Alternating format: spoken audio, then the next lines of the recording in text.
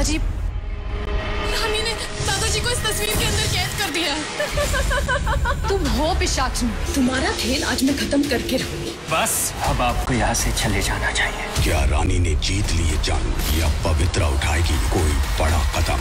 पिशाचनी 19 सितंबर रात साढ़े नौ बजे। दादाजी रानी ने दादाजी को इस तस्वीर के अंदर कैद कर दिया तुम हो पिशाच।